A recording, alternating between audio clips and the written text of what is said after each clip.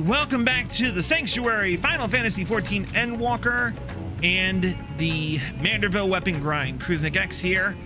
Last episode, we upgraded our Samurai, and this time we're upgrading our Red Mage, which is a good thing because my armory chest is looking really full at the moment.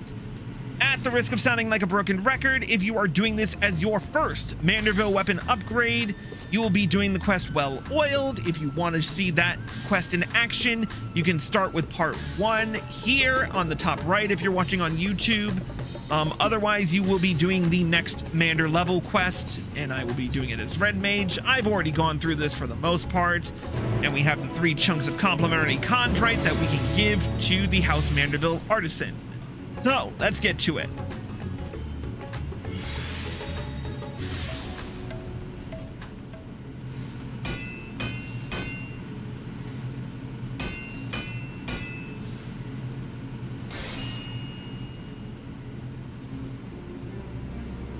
Ooh, not bad.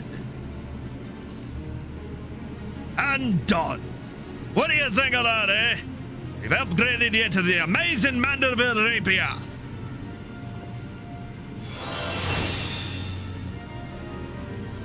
Hmm.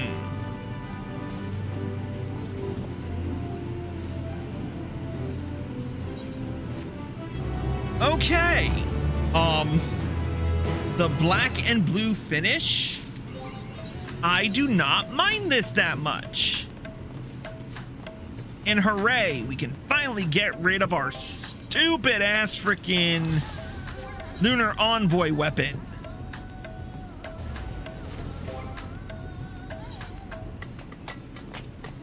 I will throw that into the inventory just to make sure it doesn't clog up my inventory. Whew! 15 down and four to go. Next episode, we will be doing Gunbreaker. But if you're watching this on Twitch, stay tuned. If you're watching this on YouTube, here are the links provided. We'll see you in a bit.